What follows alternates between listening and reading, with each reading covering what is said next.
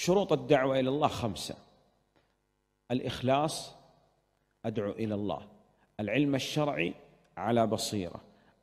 الحكمة أدعو إلى سبيل ربك بالحكمة والموعظة الحسنة. معرفة حال المدعو قبل أن تسافر إلى منطقة وكذا لابد أن تعرف من هؤلاء. ماذا لديهم؟ قال إن إنك تأتي قوما من أهل الكتاب.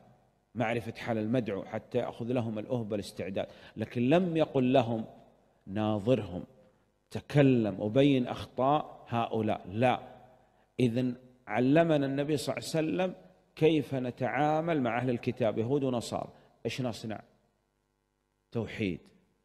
أسهل طريقة لدعوة هؤلاء. الخامس الصبر. لابد أن تصبر. لا تظن أن الدعوة تخرج إليها وتجد الطرق مفروشة بالورود وكذا. لا لحق الأنبياء والرسل عليهم الصلاة والسلام لابد أن يلحقك شيء. مفهوم؟ نعم.